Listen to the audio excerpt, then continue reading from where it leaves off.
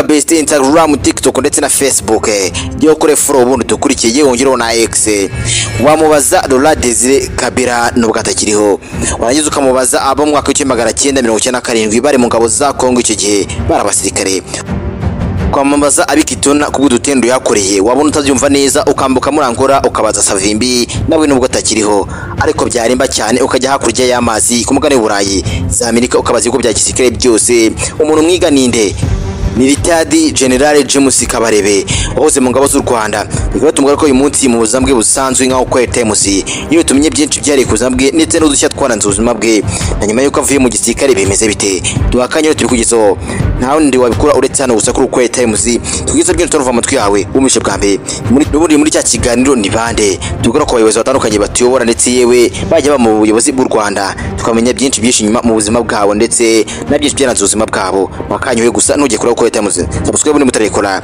Like share ndetse na comment kugira ngo benshi bamenye ibyo wamenye nawe bo batamenye ubundi ritadi general james kabarebe yavutse mu gihumbi magana cyenda mirongo itanu n'icyenda. Akura imbanda kanzu mu majyaruguru ya uganda. Yize amashuri abanza. Mu ishuri ribanza rya kayimati ryo mu majyaruguru ya uganda. Icyiciro cya mbere cy'amashuri yisumbuye yakize mu kigo kabarega secondary school muri masindi bunyoro mu majyaruguru ya uganda. Naho icyiciro cya kabiri cy'amashuri yisumbuye yakize mu kigo cyitwa seheruri college kitovu mu mwaka w'igihumbi magana cyenda mirongo n'icyenda kaminuza yize muri makerere university aho yakuye impamyabumenyi y'icyiciro cya mbere cya kaminuza mu bijyanye n'ubukungu na politike.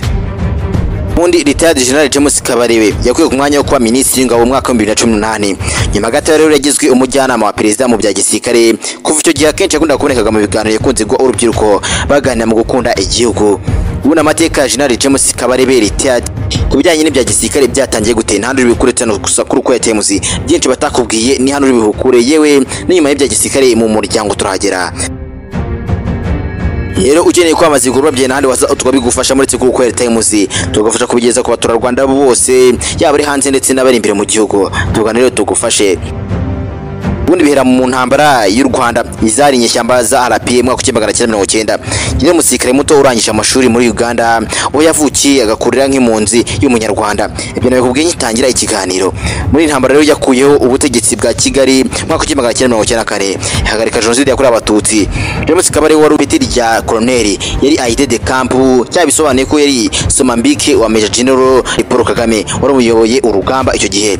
Inyandiko kandi zigaruka ku buzima bwe zivuga ko nyuma yabaye komanda w'umutwe wa high command w'izo nyeshyamba nyuma yo gufata ubutegetsi rero akaba umugaba w'ingabo zindi umukuru w'igihugu Republican Guard uretse ko ubundi ari umusirikare ariko sinavuga ko ari umusirikare ni retired ariko n'ubundi baravuga ngo ukivamo ntikikuvamo aho ndavuga igisoda ariko ubundi n'umugabo mu busanzwe mu busanzwe afite umugore afite abana bangahe? Asundi akora iyihe siporo cyangwa se ubundi ashora imari hagana hehe? Reka byose mbihubwire rero n'ahandi wabikuritse hano gusa. Ni umugabo w'imyaka mirongo itandatu n'itanu wubatse ufite abana batatu. Uretse igisirikare cy'u Rwanda azwi nk'umwe rero mu bashoramari bakomeye mu bucuruzi na siporo. By'umwihariko umupira w'amaguru ni umushoramari ukomeye cyane. Cyane cyane ariko yikundira agasiporo ariko agafana ikipe yo mu Rwanda izwi nka APRFC rero ibijyanye no gufana ikipe zo hanze buriya ngo ntabikozwa. Akunda kwifana ikipe yo mu Rwanda y'ingabo z'igihugu kuko ngo niyo abona imushimisha cyane.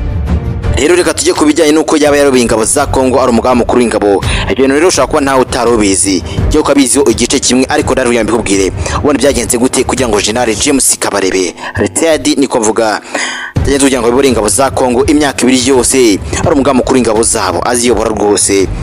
Nyuma y'uko rero ingabo z'u Rwanda ziyobowe na Paul Kagame zifashe ubutegetsi nyuma y'umwaka w'igihumbi magana cyenda mirongo icyenda na gatandatu rero zakurikiranye abaho zaretse ku butegetsi mu cyahoze ari Zaire. Ubu ngubu ni Repubulika Demokarasi ya Congo DRC zibaho kandi zigamije guhashya ibitero byazo ko batagabaga kurwana ndetse bunganya umutekano w'igihugu cy'u Rwanda. Kandi uretse n'ibyo bari bagamije gucyura impunzi.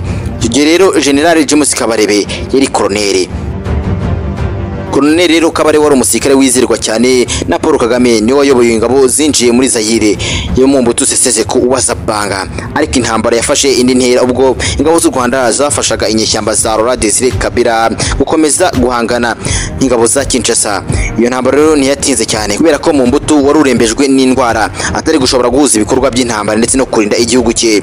Gicurasi rero mwaka w'igihumbi magana cyenda mirongo icyenda na karindwi Kinshasa yarafashwe. Mu mbuto arahunga. Kabila afata ubutegetsi afashijwe cyane n'abasirikare bayobowe na Kabarebe hamwe n'urubyiruko rw'abanyekongo bavugaga ikinyarwanda.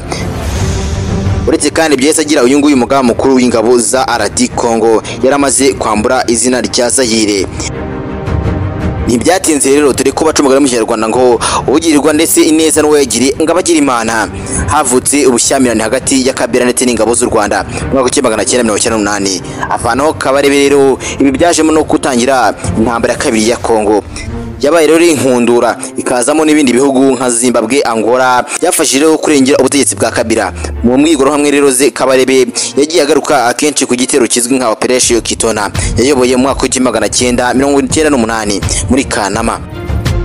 Kubera dutegura ikiganiro twagifashe inyandiko zitandukanye. Reka tubifashishe rero umunyamateka mu bya gisirikare James Stegescar mu nyandiko yanditse yitwa Kitona Operation.